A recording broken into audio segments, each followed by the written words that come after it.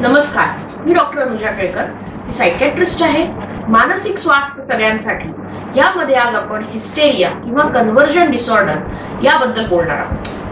Hysteria हा शब्द हिस्टर या शब्दापासून आला आहे. हिस्टरचा अर्थ होतो स्त्रियांचा गर्भाशय. असं समजल्या जायचं की स्त्रियांमध्ये त्यांच्या स्वभावामध्ये किंवा त्यांच्या वागणुकीमध्ये काही बदल होतात.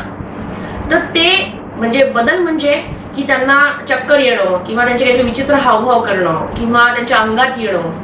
तर हे होतंय ते हे ती गर्भाशय आहे ते पोटात फिरतं. त्याच्यामुळे हे होतं. म्हणून ते हिस्टेरिया हे नाव पडलं. नंतर कालांतराने असं समजलं की हिस्टेरिया हा काही फक्त स्त्रियांनाच होत नाही. हा पुरुषांना सुद्धा होऊ शकतो लहान मुलांना सुद्धा होऊ शकतो वृद्धांना पण होऊ शकतो. आणि त्याचं नाव हिस्टेरिया पासून कन्व्हर्जन डिसऑर्डर पण आहे. तर कन्व्हर्जन डिसऑर्डर म्हणजे काय? आपला मानसिक ताण जर कन्व्हर्ट होत असेल शारीरिक त्रासामध्ये तर त्याला कन्व्हर्जन डिसऑर्डर असं म्हणतात. मी तुम्हाला उदाहरण देते. एका लग्नात मी गेली होती. लग्नामध्ये मुलाकडचे आणि मुलीकडचे लग्नानंतर काही किरकोळ गोष्टीवरनं वाद घालत होते. अचानक काय झालं की त्या मुलीला चक्कर आली आणि ती मुलगी खाली पडली. आता ती बसली होती आणि बसल्यावर खाली पडली. तर त्यामुळे काय झालं की सगळ्यांचं लक्ष तिच्याकडे गेलं तो वाद थांबून गेला. मला असं पण कळलं काही दिवसांनी की ती जी मुलगी आहे तिला घरात काहीही वाद झाला किंवा काही तिच्याबद्दल काही प्रॉब्लेम असेल किंवा तिच्यावरनं काही प्रॉब्लेम झाला तर तिथला अशी चक्कर येते आणि ती बेशुद्ध होते. आता याच्यामध्ये तिचा फायदा होतो की ती तिचा स्ट्रेस कमी होऊन जातो ती गोष्ट तिथेच थांबून जाते आणि वरतून तिला अटेन्शन मिळतं. तर असं लक्षात येतं की हे जे प्रॉब्लेम आहे कन्व्हर्जन डिसऑर्डर जे आहे ते जनरली ज्या लोकांना आपली गोष्ट ठेवता येत नाही मांडता येत नाही किंवा ज्या लोकांना दुसऱ्यांवर हावी व्हायचं असतं ज्या लोकांना अटेन्शन हवं असतं किंवा ज्या लोकांना स्ट्रेस असतो किंवा ज्या लोकांना आपलं काही बनवून घ्यायचं असतं समोरच्याकडून त्या लोकांमध्ये हा प्रॉब्लेम होतो.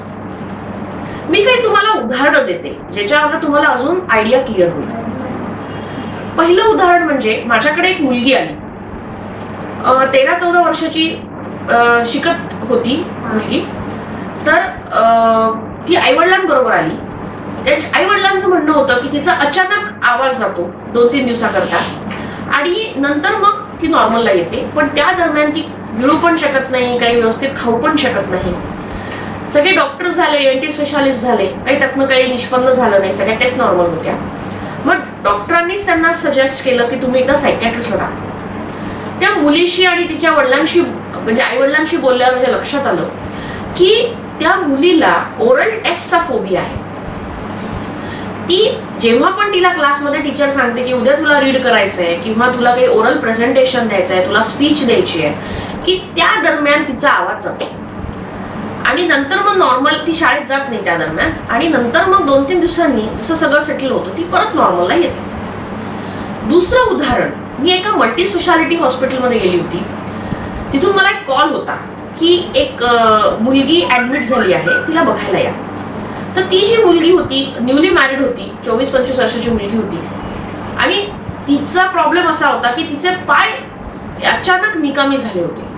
अचानक की सकाळी एकदम ती उला उठणंच झालं नाही. आणि पॅरालिसिस म्हणून तिला ऍडमिट केलं. सगळ्या टेस्ट झाल्या एम आर आय झाले सगळे मोठे मोठे डॉक्टर्स झाले स्पेशालिस्ट झाले सुपर स्पेशालिस्ट झाले पण त्यातनं काही निष्पन्न झालं नाही. शेवटी मला कॉल दिला गेला. त्या मुलीशी बोलल्यावर घरच्यांशी बोलल्यावर माझ्या लक्षात आलं की ती मुलगी शिक्षण तिचं चांगलं झालं होतं. पण नोकरी करत नव्हती. घरी होत होती. आणि तिला घरकामाची सवय नव्हती. आणि सासरी आल्यावर भरपूर लोक घरामध्ये होते. सगळं घरकाम घरी करावं लागायचं. आणि नाही केलं तर सासू तिला रागवायची चिडायची शिवागाळी करायची. तर हे सगळं टाळण्याकरता तिचा जो स्ट्रेस आहे तो असा प्रेझेंट झाला. तिसरं एक उदाहरण म्हणजे माझ्याकडे एक वृद्ध आले आपल्या मुलाबरोबर. त्यांचं वय असेल एक सेव्हन्टी सिक्स सेवन्टी सेवन त्यांचा प्रॉब्लेम असा होता की त्यांना जोर जोरात त्यांना श्वास लागायचा खूप जोर जोरात आणि चक्कर यायची. तर ते असं थोडा वेळाकरता व्हायचं आणि मग ते नॉर्मलला येऊन जायचं. त्या आजोबांशी बोलल्यावर माझ्या लक्षात आलं की ते घरी एकटे असतात. तिचे सून आणि नातवाबरोबर ते राहतात. त्यांचा मुलगा जो असतो तो परदेशात असतो. तर सून आणि नातू आपल्या लाईफमध्ये बिझी आहेत. मुलगा जो आहे तो परदेशात असतो त्यामुळे तो येऊ शकत नाही. त्यांना जे अटेन्शन पाहिजे ते मिळत नाही. आणि असं काही झालं की सून नातू मुलगा सगळेजण त्याच्याकडे अटेन्शन द्यायला लागतात. आणि त्यांना जे हवं आहे ते मिळतं. तर अशी काही हे उदाहरणं आहेत. याच बरोबर आपण म्हणतो की अंगात येतं. ज्याला आमच्या भाषेत पोझिशन सिंड्रोम म्हणतात. यामध्ये काय होतं की बायकांच्या देवी अंगात येते माता अंगात येते देव अंगात येतात माणसांच्याही येतात. आणि ते केस सोडून ते लाल कुंकू लावून जोरजोराने ते गाणे म्हणायला लागतात किंवा फिरायला लागतात गडाबडा लोळायला लागतात जमिनीवर. आणि वेगवेगळे आवाज काढतात वेगळ्या भाषेत बोलायला लागतात. आणि लोक त्यांच्या पाया पडतात. त्यांना नमस्कार करतात त्यांना प्रश्न विचारतात. आणि बऱ्याच लोकांना असं वाटतं की यांच्या अंगात खरंच भूत आत्मा प्रेत वगैरे आलेला आहे. तर भूत म्हणजे बाबांकडे घेऊन जातात भगतकडे घेऊन जातात ते बरं करण्याकरता. तर हे पण एक हिस्टेरिया किंवा कन्व्हर्जनचाच प्रकार आहे. काही लोकांचं नेत्र म्हणजे दिसणं कमी होऊन जातं सडनली एकदम दिसणं बंद होऊन जातं. किंवा काही लोकांना हात चालत नाहीत. काही लोकांचे पाय काम करणं बंद होऊन जातं. एकदम सडनली ते रडायला लागतात किंवा एकदम जोरात हसायला लागतात. बेशुद्ध होऊन जातात काही वेळा करता सडनली चक्रा यायला लागतात. तर असे वेगवेगळे प्रेझेंटेशन आहेत. याच बरोबर लोकांना मला सांगायची इच्छा आहे की जे फिट येणं म्हणतात म्हणजे सीझर्स ज्याला म्हणतात इंग्लिशमध्ये जे मिरगीचे झटके तर त्यामध्ये आणि हिस्टेरियामध्ये जे मिरगीचे झटके येतात म्हणजे कन्व्हर्जनमध्ये ज्याला सुडो सीझर्स असं म्हणतात यामध्ये फरक आहे. जे फिट्स असतात त्याच्यामध्ये प्रॉपर डोळे वर जाणं तोंडातून फेस येणं दाताला दात लागणं किंवा तोंड वाकडं होणं किंवा प्रॉपर मुठ्या आवळून एक ते कॉन्ट्रॅक्शन बॉडीचे होतात आणि ते अगदी दीड दोन मिनटं वगैरे अगदी असतं. आणि त्याच्यानंतर हळूहळू त्या माणूस तो माणूस बेशुद्ध असतो तो शुद्धीवर येतो. सुडो मध्ये असं काही प्रेझेंटेशन नसतं. जनरली फक्त बेशुद्ध लोक पडतात. थोडासा काही डोळे वर गेले तर. आणि ते दोन दोन तीन तीन तास बेशुद्ध राहतात आणि मग ते लगेच शुद्धीवर येतात. तर ह्याच्यामध्ये भरपूर फरक आहे. फिट्स हा मेंदूचा आजार आहे. तो काही सायकोलॉजिकल प्रॉब्लेम नाही आहे आता याची ट्रीटमेंट काय आहे? तर कन्व्हर्जन डिसऑर्डरमध्ये बेसिकली हिस्ट्री प्रॉपर असणं गरजेचं आहे. माहिती जी आहे ती पेशंट्सकडून रिलेटिव्सकडून घेणं गरजेचं आहे. ॲक्च्युली प्रॉब्लेम कुठे आहे? सिच्युएशन समजून घेणं गरजेचं आहे. रिलेटिव्हला या बाबतीत कन्व्हिन्स करणं त्यांना समजवून देणं सगळं हा मोठा चॅलेंज असतो. कारण रिलेटिव्ह किंवा पेशंट सुद्धा हे एक्सेप्ट करायला तयार नसतं की हा मानसिक आजार आहे. आपण जर त्यांना समजवायला गेलो तर त्यांना ते असं समजून घेतात की हे नाटक करते हिला काहीच झालेलं नाहीये. पण त्यांना हे आपण आपलं काम आहे समजवणं की सायकॅट्रिस्टचं काम आहे समजवणं की हा हे नाटक नाही आहे हे एक प्रकारचं सायकोलॉजिकल प्रेझेंटेशन आहे. आणि याची ट्रीटमेंट पूर्णपणे होते आणि याच्यातनं पूर्णपणे बाहेर ती व्यक्ती निघू शकते. याच्याकरता जे त्यांचे गेन्स आहेत प्रायमरी गेन म्हणजे त्यांना जे मिळतं आहे त्यांचा जो स्ट्रेस कमी होतो तो प्रायमरी गेन आहे. आणि त्यांना जे अटेन्शन मिळतं आहे घरच्यांकडून ते जर आजारी असतात त्यांना ओव्हर प्रोटेक्शन मिळतं ओव्हर अटेन्शन मिळतं ओव्हर केअरिंग त्यांच्याबद्दल रिलेटिव्ह असतात. तर ते जे मिळतं ते सेकंडरी गेन आहे त्यांच्याकरता.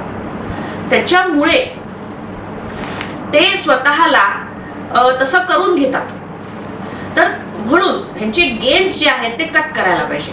म्हणजे रिलेटिव्हली त्यांचे जास्त ओव्हर त्यांच्याशी न वागता नॉर्मली जसं वागायचं तसं वागलं पाहिजे.